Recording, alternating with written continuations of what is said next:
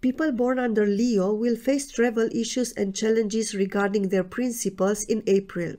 Be careful if you have to sign legal documents or travel between April 1st and 25th because Mercury will be retrograde during that time. Especially with international travel, there may be some problems such as flight cancellations or lacking the necessary travel documents. Legal issues may also arise, that's why you shouldn't sign contracts. Especially if it concerns a work contract or collaborations abroad, I recommend to wait if possible. Also, be careful where you place important documents.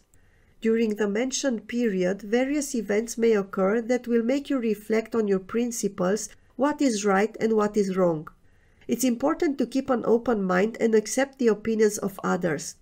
Lastly, I recommend not getting involved in discussions on controversial topics such as political or religious views.